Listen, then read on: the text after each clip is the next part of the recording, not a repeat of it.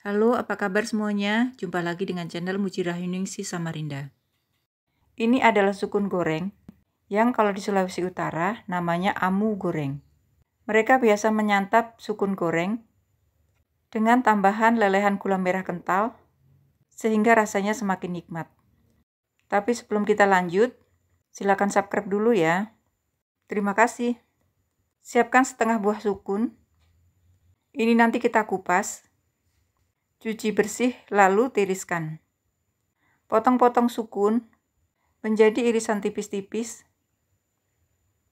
Nah, tipis-tipis seperti ini ya. Lalu goreng sukun dalam minyak panas hingga kuning keemasan. Jika sudah kuning keemasan, angkat sukun lalu tiriskan. Lalu pindahkan pada piring lebar. Tata di atas piring Kemudian nanti ini kita akan siram dengan gula merah. Lelehkan 100 gram gula merah dengan 50 ml air. Gunakan api sedang.